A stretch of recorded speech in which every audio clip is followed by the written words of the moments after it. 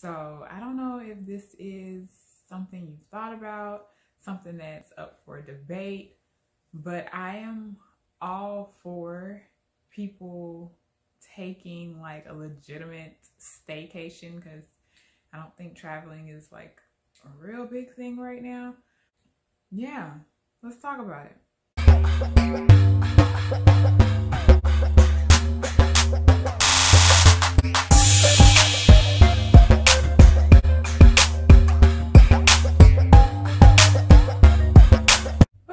Y'all? Welcome to Random Wednesdays on Gratified Grad, where it's my goal to help you graduate with gratification. I'm Latisha, and in today's video, we're going to talk about taking a vacation during quarantine.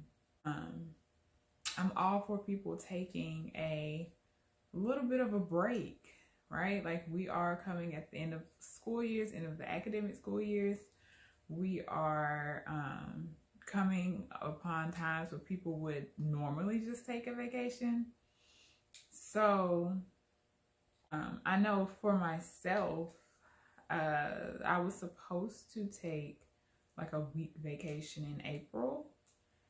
And um, that's when everything started popping with the virus. So my travel plans got canceled. Um, and so because of that, I kind of just kept working.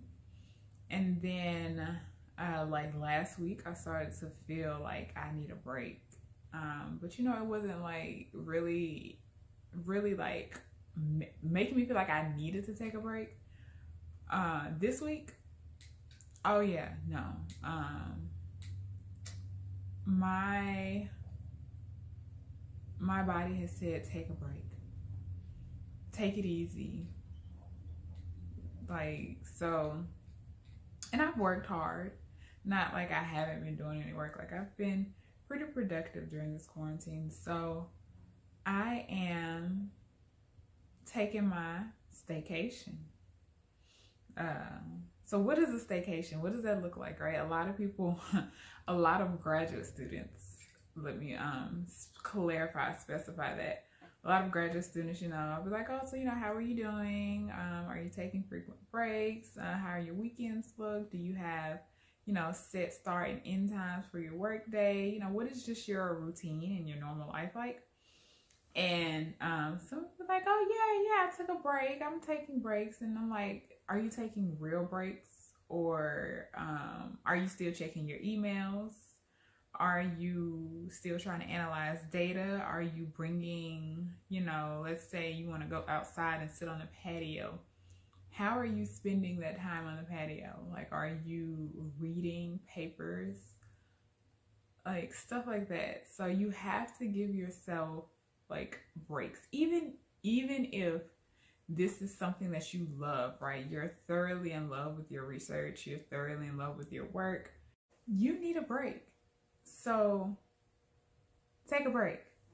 Um, even if it's just for a day, because I also know that during this time it can it can make you feel a little guilty for just like taking a day in the middle of the week to not do anything or to just, you know, lay around and watch um, Netflix or YouTube all day. But like those days are just as valuable as the days that we're working. Like you need brain breaks. You need time to process and like let stuff mull over in the back of your mind and let it process and simmer so that you can get new ideas. So take that staycation. Um, I know like I was looking at my Facebook memories and two years ago I took a 10 hour hike that was the first 10 hour hike I ever did. But yeah, I took a 10 hour hike. And so I'm like, oh, maybe I should do that again.